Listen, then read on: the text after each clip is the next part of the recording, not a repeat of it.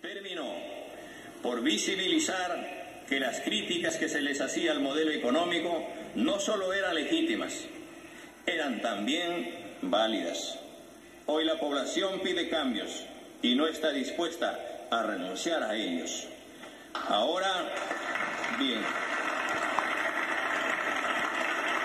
Ahora bien, es cierto que esos cambios implican poner en riesgo los logros conseguidos con el esfuerzo de todos los peruanos durante las últimas décadas. No, no lo es. Si es posible realizar estos cambios con responsabilidad, respetando la, la propiedad privada, pero también poniendo por delante los intereses de la nación. Y nada hacia eso apuntamos, porque queremos construir un país más próspero, más justo, un país donde una mayor generación de riqueza y bienestar se distribuya de manera equitativa entre todos los peruanos. Este es el compromiso que hoy, 28 de julio, en este bicentenario, asumo, asume nuestro gobierno. Hoy nos surge la recuperación de los empleos e ingresos de las familias, lo que exige una reactivación de la economía a fondo. Lamentablemente, durante la campaña electoral se ha tratado de asustar a la población con el cuento que queríamos expropiar los ahorros, las casas, los automóviles, las fábricas y otros bienes de propiedad de los ciudadanos, lo que es totalmente falso.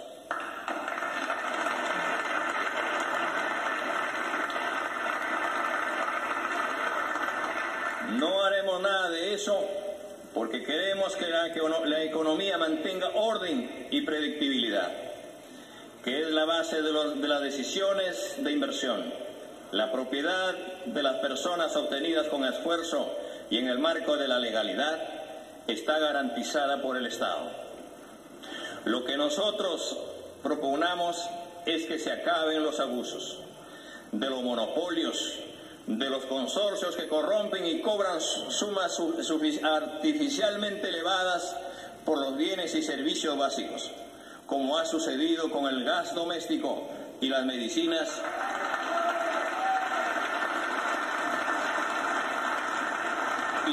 las entidades financieras cobran hasta el 200% por crédito de consumo. Así, por ejemplo, el Banco de la Nación deberá estar en, capacidad de proporcionar al ciudadano todos los servicios bancarios disponibles, con tasas de utilidad razonables, que les permitan competir en este mercado con eficacia, pero sin usura. No pretendemos ni remotamente estatizar ninguna economía ni hacer una política de control de cambios. Solo queremos que la economía de las familias, sobre todo la de menores ingresos, sean más estables y prósperos. Que las grandes empresas no estafen al fisco inmediato la evasión o ilusión tributaria, que el Estado cumpla su función supervisora y defensora del ambiente, del consumidor y de la sociedad. No creo que ningún verdadero peruano pueda estar en contra de este propósito.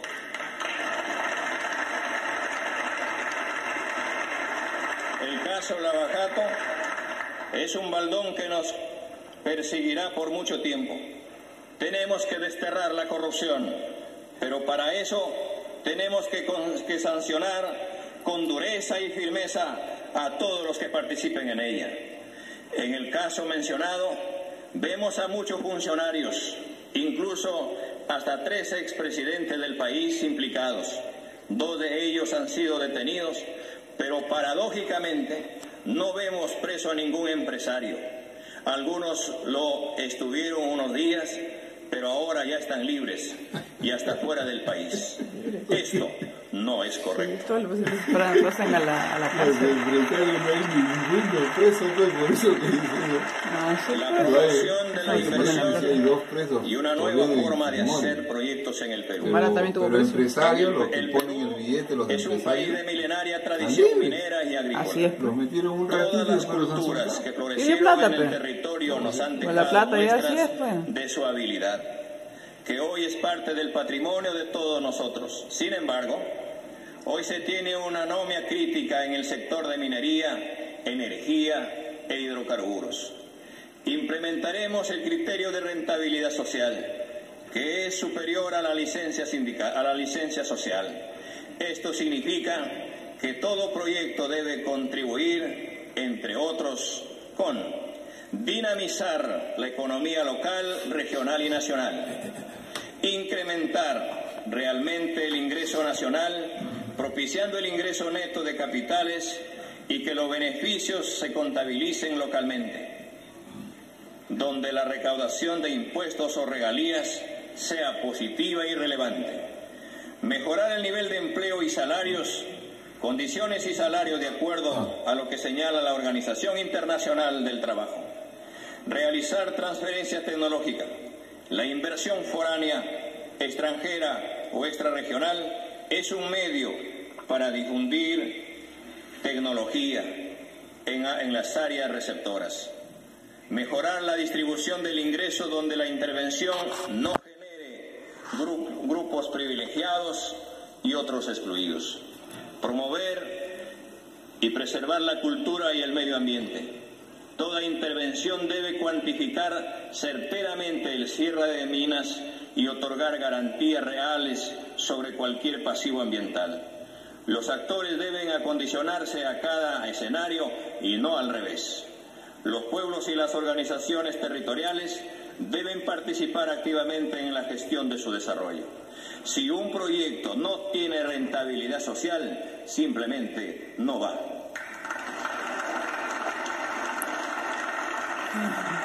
Esto significa un nuevo pacto con los inversores privados, donde el Estado intervenga para reducir costos, facilitar procesos, mantener la seguridad jurídica y a cambio la población local y el país reciban contribuciones que generen desarrollo y mayores oportunidades con un real cuidado del medio ambiente. Se promoverá la participación del Estado como la hacen todos los países de la región como socio o ejecutor mayoritario. El Estado peruano enfrenta difíciles retos a corto y mediano plazo. Necesita una nueva forma de hacer minería en su rol en su territorio, en, un escenario de paz con justicia social donde cada pueblo sea protagonista de su destino. Principales acciones a desarrollar. En mi gestión desarrollaremos lo siguiente. En salud, frente a una tercera ola de contagios, tenemos a la fecha 16% de la población vacunada con, con dos dosis y un primer nivel de atención muy débil, muy débil. Esto significa el enorme desafío de llegar a fin de año al más del 70% de la población vacunada y lograr la protección comunitaria. Vamos a comprometer todo el aparato del Estado y con nuestro pueblo movilizado. En tal sentido, convocaremos de inmediato a todos los gobernadores regionales y los, a y a sus directores regionales a evaluar acciones ante la pandemia. Los centros y postas de salud garantizarán la atención médica, laboratorio y exámenes con real gratuidad sean y no asegurados. Se dispondrán las medidas para ampliar los horarios de atención para pacientes no COVID hasta 12 horas en los establecimientos del Ministerio de Salud y la Seguridad Social. Se tomarán las medidas necesarias para continuar con la vacunación, ampliando horarios y extendiendo su presencia en las zonas más, más populosas de las capitales. Los establecimientos de primer nivel vacunarán en horario extendido. En economía, de manera inmediata, para crear un millón de empleos en un año, nuestro gobierno implementará las siguientes medidas. Golpe de inversión pública y generación de empleo temporal. Activar programas públicos de generación de empleo que a la vez permitirán darle mantenimiento o construir obras en todo el país. Para ello se asignará 3.000 millones de soles para las municipalidades y los gobiernos regionales para la aceleración de inversiones mil millones de soles para arreglar trochas carrozables a los centros poblados del país.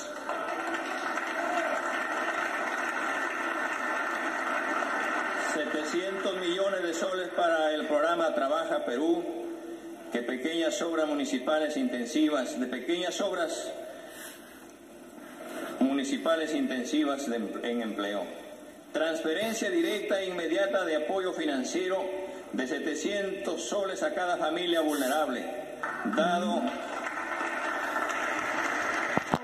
que la pandemia ha generado muchos costos en educación y salud a las familias y a eso ahora se ha sumado en el último mes del gobierno anterior un alza de precios que afecta a la alimentación familiar.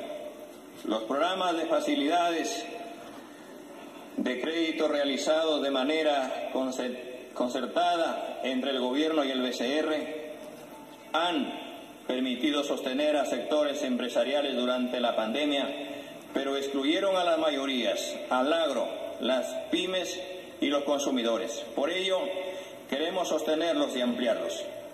En este sentido, ampliaremos los periodos de gracia y facilitaremos la reprogramación de deudas de las MIPES. Lanzaremos un nuevo programa de crédito orientado específicamente a la protección del empleo y le daremos especial atención y prioridad a los sectores más afectados por la pandemia, el agro, MIPES, turismo y transporte. En educación, hemos expuesto más de una vez cómo está el, sistema educativo. En mi gobierno será una prioridad que este gobierno del pueblo y para el pueblo declararemos de inmediato la educación pública en estado de emergencia. Ah, muy bien. Educación. Para recuperar los aprendizajes que sea ya este presencial. la educación que están dando, Sí, que sea, que sea ya presencial. un de que paso a detallar. Al declarar en emergencia van a tener que hacer suficiente para la educación pública básica y superior que se mejorará progresivamente. Nos prometemos aumentar nos proponemos aumentar el presupuesto del sector educación para dar respuesta a las grandes necesidades educativas de los sectores vulnerables. No hace hospitales otra vuelta, que, que los hospitales que haya atención periferias marginales y urbanos. Ya dijo. Nos proponemos duplicar la no, dijo, dijo que se fue elegante, no, educación pública en los primeros años de nuestro gobierno y aumentar la participación del gasto en el PBI. Mejoraremos la distribución de los recursos educativos con criterio de equidad y priorizando acciones que ayuden a superar las brechas sociales profundizadas por la pandemia. Se fortalecerá la atención educativa de la primera infancia, retornando el programa Cuna Más. A más tardar en el primer semestre del año 2022, nuestras escuelas volverán a la actividad presencial. Para ello garantizaremos la vacunación de todos los maestros, promotores, auxiliares y personal de los servicios educativos, la adopción de medidas de bioseguridad en todas las instituciones y programas educativos. Promoveremos la revalorización de la carrera docente, garantizando la formación inicial y continua de calidad y pertinente con los entornos socioculturales. El reconocimiento y valoración del rol de los docentes directivos de las instituciones públicas, estableciendo estímulos que garanticen una, educación de calidad para todos. Consideramos de vital importancia que el sistema educativo cuente con una base firme de profesores estables. Mm. Ay, ojalá que haya parámetros el otro año. vivienda y centros de recursos pedagógicos para los docentes. Es tiempo que esta vieja aspiración se concrete y los profesores rurales, verdaderos apóstoles de la educación peruana, reciban un mínimo de servicio para poder realizar su tan esforzado como importante trabajo. Al 70% nomás van a vacunar. Garantizaremos el mejoramiento de los aprendizajes de los niños y jóvenes, reduciendo las brechas históricas a través del fortalecimiento de la educación destinada a la primera infancia junto a las familias y comunidades. El impulso del mejoramiento del desempeño de docentes, garantizar que el currículo nacional y los planes curriculares serán promovidos por los propios maestros, la comunidad, los estudiantes, los padres de familia y las autoridades. La innovación será una prioridad en las escuelas y la conectividad a Internet. En nuestro gobierno, el Internet será un derecho, no un servicio. Inicialmente, trabajaremos en 800 instituciones educativas habilitadas para la educación técnica, la secundaria técnica.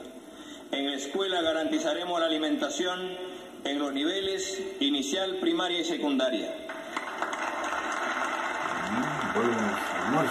Priorizaremos la preparación de alimentos con productos locales nutritivos, de tal manera de tal manera que al mismo tiempo Pero siempre ha sido. se insertarán recursos derecho, ¿no? económicos para fortalecer y desarrollar la agricultura local. internet. Impulsaremos gradualmente una política de ingreso libre no a las universidades y de educación superior. Pues ya no van a. Ya nos va a venir del, ¿no? en otros países y no consideramos que aquí pasará lo mismo. Explotan. Sobre todo, Se impulsará fuertemente la parte las escuelas e institutos superiores de educación técnica y en las instituciones educativas de educación básica. También la formación técnica de los Este estudiantes en los últimos tres años de, de la educación secundaria. Destinaremos mil millones de soles para pagar la deuda social del magisterio peruano. pues, todo puede cumplir. A veces se ofrece, pero no se puede cumplir. Sí. Ya, ¿A cinco años tú crees que va a poder hacer todo eso? ya cama UCI, pe. Difícil. Cama UCI, ¿no? ¿Dónde está la cama sushi? ¿Sabes que nunca las dio? Ya hablo de salud. Minería. ¿Mm? Poner orden en la minería. Esto significa reglas claras. Escenarios sin sorpresas para los actores. Utilizando las buenas prácticas que se dan en otros escenarios. largo, mira, 7 minutos. Expulsando la corrupción, sincerando y acotando procedimientos que faciliten la exploración, la explotación, el control y el cierre adecuado de cada proyecto. Haremos No lo posible LP. para, para producir más que tanto tan y con mayor valor agregado. Vivienda, ¿Dónde está el construcción ONP, y la. CP? Han votado por él por eso. Perú del Bicentenario existen economía, 3 ¿no? millones de peruanos que no gozan de agua potable haber y más huelgas, 17 ¿eh? millones y medio de alcantarillado. La cobertura de agua en el ámbito urbano alcanza al 95% de peruanos, mientras que en el ámbito rural solo al 78%. El alcantarillado todavía es más preocupante, mientras en el ámbito urbano el 89% tiene acceso a servicios de saneamiento, en el ámbito rural alcanza solo al 30%. La brecha de infraestructura de agua y saneamiento es de 49 mil millones de soles. Nuestro compromiso de gobierno con el pueblo, con el Perú, es cerrar la brecha de servicios de agua y saneamiento al 100%. Para ello necesitamos un cambio total en la forma de servir al Estado. En los 100 primeros días de nuestro gobierno se fortalecerá la ejecución de obras de saneamiento rural sostenibles y de calidad a través de los núcleos ejecutores, como un mecanismo para promover la participación directa y vigilante de la sociedad civil organizada y al mismo tiempo combatir el cáncer de la corrupción. Se facilitará a la población el, el acceso al programa nacional Techo Propio y ampliaremos significativamente el número de beneficiarios. La esperanza de cientos de miles de familias para acceder a un techo propio a partir de hoy empieza a hacerse realidad. Además, promoveremos la formalización de predios rurales y urbanos a través de un trabajo conjunto con los gobiernos locales. Para ello, se, se simplificará la normativa sobre titulación de predios y se firmarán convenios interinstitucionales para realizar el levantamiento catastral urbano en menos tiempo. Interesante.